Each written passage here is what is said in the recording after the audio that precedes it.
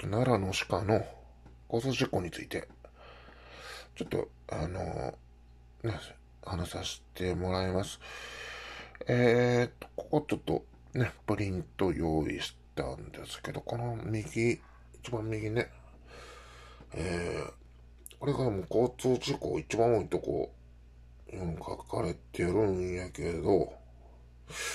これ1位と3位のとこっていうのはもう夜もしか行ってるんです。ほんでもう道路飛び出したりしてて、これ危ないんで気をつけて運転してください。この2位のところも、あの、もう一回かあの、あの、や、役所じゃ、あの、あそこはありません。あの、あそこの芝生食べに行ったり、中央ブリー隊の芝生食べに行ったりして、結構通るんですよ。あと、奈良女子大も引っ込んで行って帰ってきたりするんで、結構鹿が通るんで、これも聞いてください。僕、ここで、あの、鹿がもう斜め走りしてるの見たことあります。あれちょっと車気付けにくいと思うんで、あの、気付きにくいと思うんで、ちょっと怖いです。あの、ちょっとまあ気付けて運転してください。とね、これは去年の、まあまあ死亡数なんですけど、新交通事故59とって出てるんですけど、さっきニュースで出たもう今年もすでに119頭かな。交通事故で死んでます。もうだいぶ多いです。もう去年までと比べて、だからちょっと気をつけて運転してもらえたらなと思います。あのね、奈良の6円なんかには、もうここにも載せてるんですけど、怪我して、もうね、これも片足ない、ない鹿です。ね、交通事故で怪我した鹿とかいっぱいいてるんですわ。で、こいつらはまだ助かってるけど、命を落とした鹿っていうのもいっぱいいてるんです。だからね、気をつけてください。特に秋、まあ、この時期、オスジカがもう追いかけて道路飛び出したりするんで、気をつけてください。あと、もう、僕、個人的にはもう、あの、ドライバーに気をつけてもらうだけでは解決できないと思うんですよ。まず、あの野生動物がこう、あの、あんなね、あの交通のね、あんな車予算通ってるところにいっぱいいてること自体が問題なんですよ。あのよっそやと、人慣れは交通事故の原因になるから、あの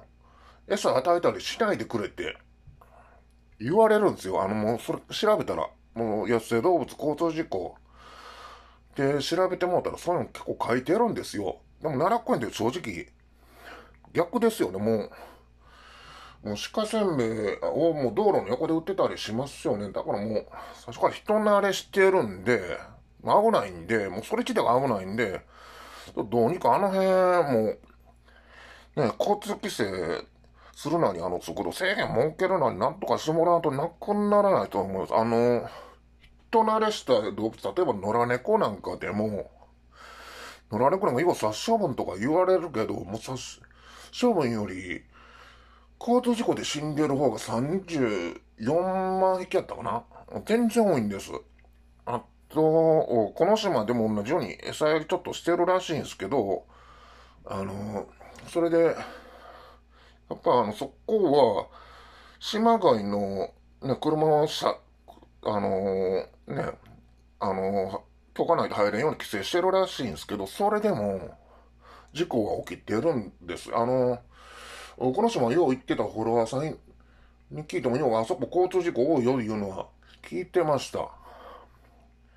だからもう、ね、もう、まず人慣れさせてること自体がほんま問題なんですよ。もう、だから、うん、そうやって人慣れさせてるんやったら、アシカせんべいで、